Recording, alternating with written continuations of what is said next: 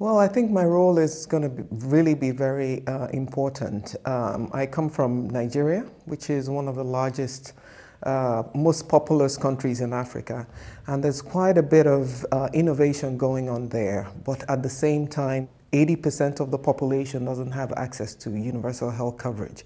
So at the same time, there's a lot of mobile technology within the country. So how can I bring my experience working in the country uh, to utilize uh, mobile technology to achieve UHC? So I think there's quite a bit of learning that can come out of Nigeria towards uh, the FT, and I'm hoping to contribute that uh, through my work. Uh, well, my expectation really is that we come out with a report that can be adopted. But this report really I expect to be uh, tiered. When I mean tiered, that is different countries at different stages and sophistication in their uh, advancement to UHC.